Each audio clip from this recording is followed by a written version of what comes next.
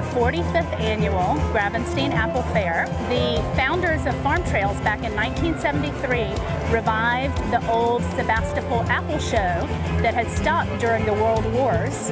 And their vision was to celebrate the Gravenstein, our agricultural traditions, our rural heritage, and to create this sweet little country fair. I think it's just beyond precious. I think it's priceless. I think the most unique thing about the Apple Fair is it's like an, a fair that you would find 20, 40 years ago. It's something that celebrates local agriculture, the bounty of Sonoma County, which is apples and wine grapes and cider.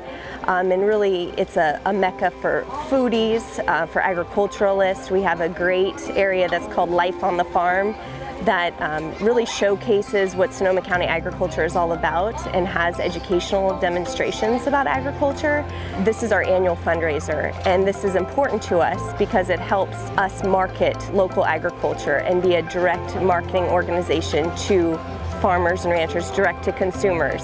It's a place to gather with family and friends of um, different ages and demographics. It's really a great place, I think, for community.